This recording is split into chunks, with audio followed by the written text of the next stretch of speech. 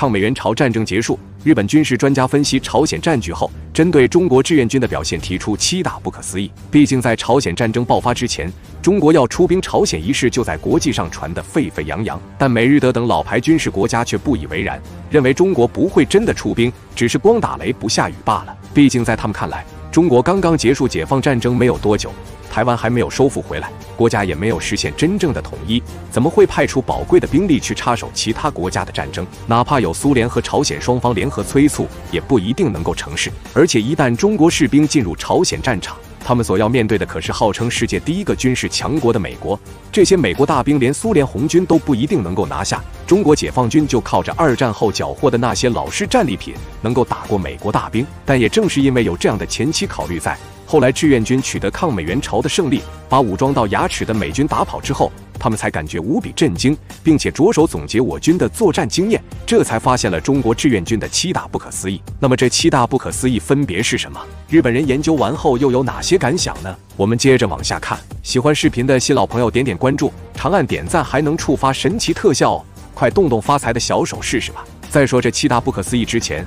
我们先来谈谈美日德最初设想的志愿军不会入朝一事。其实他们想的没错，在最开始的时候，我们确实抱着这样的想法。虽然苏联和朝鲜多番催促，我们也一直没有下定决心是不是真的要开赴朝鲜，帮他们攻打美国。毕竟，就如他们所言，当时我军还有个艰巨而宏大的任务，那就是一口气解放台湾。而早在朝鲜战争爆发之前，我军就已经在着手准备统一之战。还在海峡沿岸部署了大量的兵力，渡海作战需要的船只装备也在如火如荼的准备着。只要主席一声令下，我们马上就可以发动轰轰烈烈的统一之战，收复台湾。而苏联一开始也答应我国，只要我们发动了统一战争，苏联就会派出兵力进行军事支持。可当时朝鲜局势也非常紧张，朝鲜方面也迫切渴望能够得到苏联的帮助。后来三方商量，先打台湾，再拿朝鲜半岛。可不久后，朝鲜方面却突然变卦。忽悠着斯大林先爆发了朝鲜战争，我们对朝鲜这种言而无信的做法非常不满，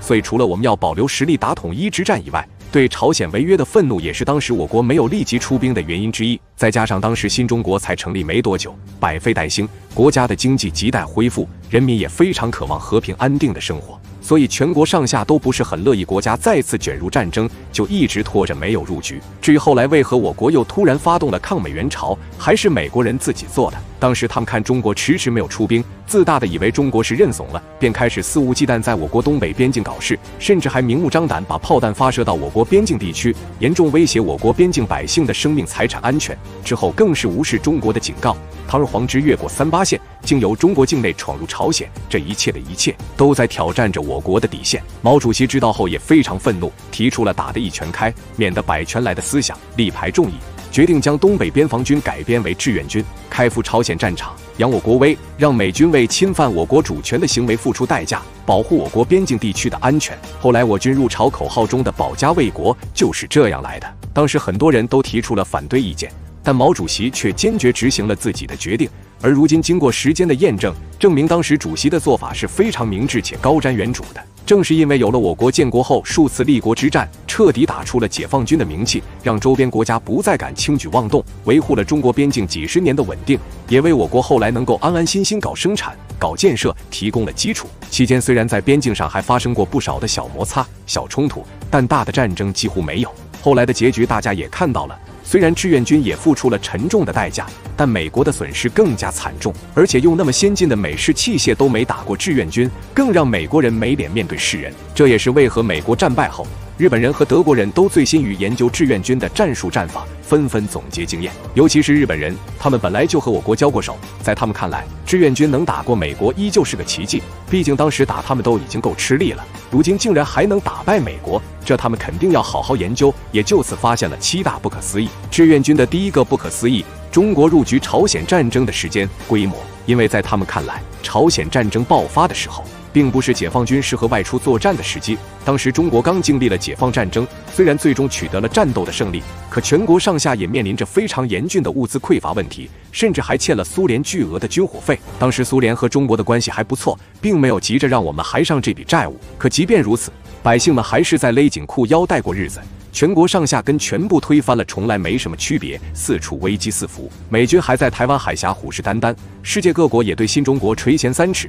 如果这个时候中国抽调兵力去支援朝鲜，很可能让自己本国陷入内忧外患中。所以，解放军真的会改编为志愿军开赴朝鲜，是他们怎么都没有想到的。而且这一投入人数还真是不少。在抗美援朝战争结束后，据不完全统计，我国共有二百四十万人加入了中国人民志愿军。其中以轮战的方式投入战斗的也超一百九十万人，再加上补充的预备役兵员，最终总计有近二百四十万人加入了战场。要知道，这可是帮着别人打仗。我国愿意投入这么多的兵力，让日本人都觉得胆寒。志愿军的第二个不可思议、严谨、科学、细致的侦察能力，放在世界范围来看。当时美军的军事侦察能力在世界上也是数一数二的，毕竟他们搭配着非常尖端的侦察设备。可即便如此，在面对志愿军的时候，美军的这些优势却好像突然都哑了火，连最基本的功能都没发挥出来。毕竟当初志愿军在入朝作战的时候，都已经悄悄摸到了战斗的前线，美军还毫无察觉，直到双方碰面打起来了，美军才如梦初醒。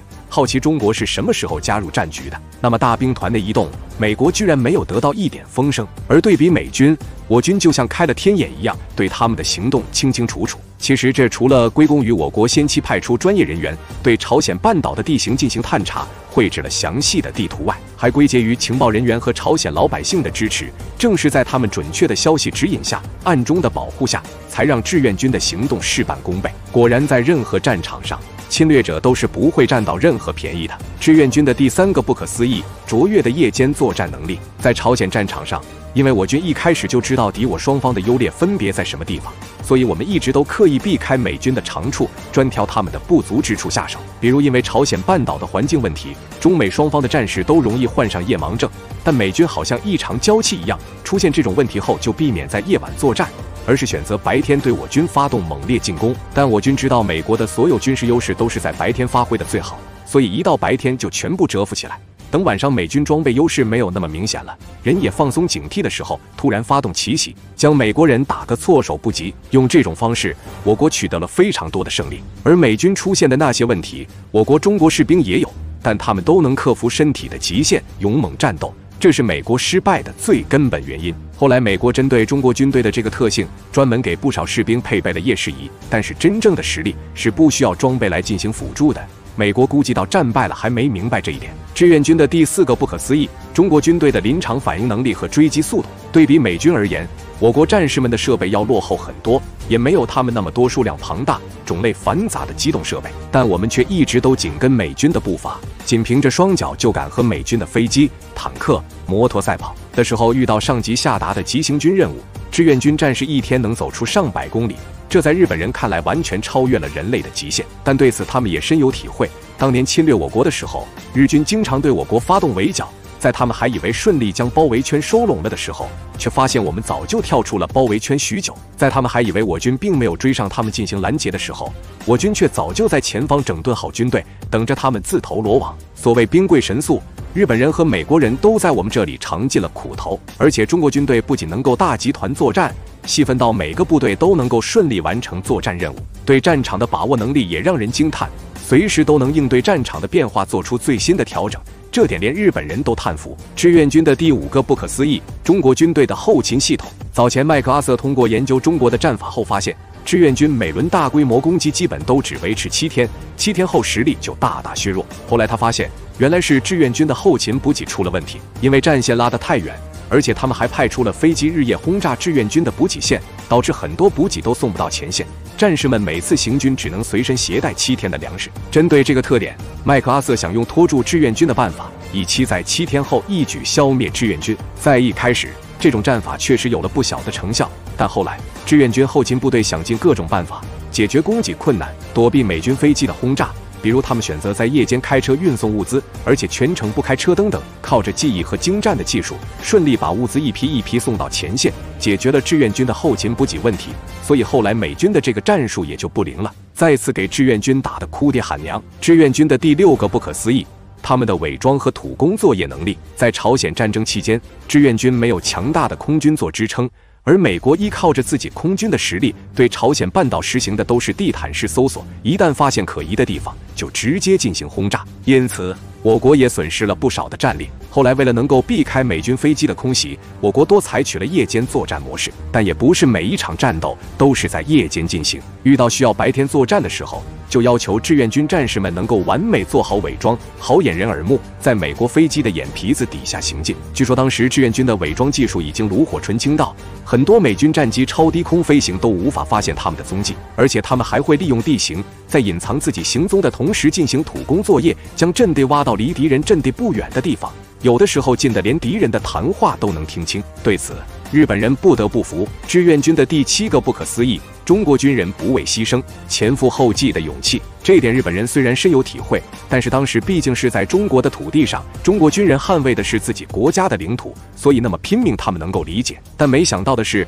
到了朝鲜战场上，中国军人还是如此勇猛，舍生忘死，为朝鲜都能够抛头颅洒热血，这点是日本人没有想到的。毕竟在他们看来，支援战斗做做样子也不是不行，保存自己的实力不才是生存的王道吗？但志愿军却不这样想。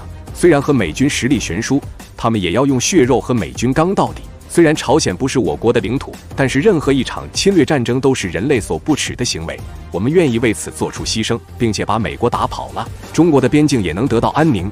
这点是美国和日本这种自私自利的国家永远无法理解的。而看到中国军人如此惊人的勇气、顽强的作战能力和令人惊叹的进步，日本人也惊出了一身冷汗。还好自己逃跑得快，否则遇到如今的解放军，恐怕损失还要更大。而如今的中国，更是以世界强国的姿态巍然屹立，未来给中国的也必定是一个更加美好的明天。好了，今天的视频就到这里。